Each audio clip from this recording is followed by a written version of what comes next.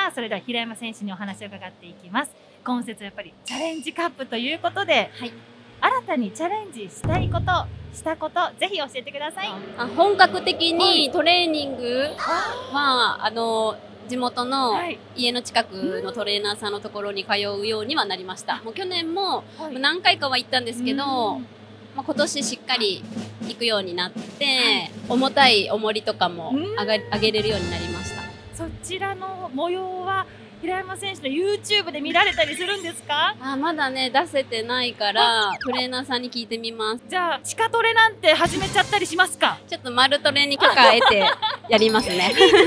はい。ぜひ楽しみにしております、はいありがとうございますそれでは最後にファンの皆様にもメッセージお願いいたしますはい、えー、玉川大好きです。えー、玉川の YouTube そして平山千佳公式 YouTube ぜひご覧ください。どちゃんこあありがとうございました、平山選手でした。りがとうございます。ヤッホーみんなどちゃできた？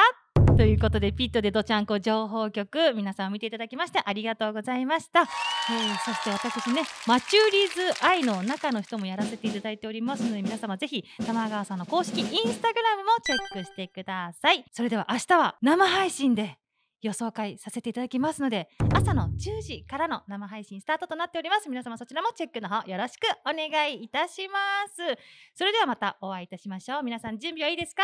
せーのどちゃんこー！また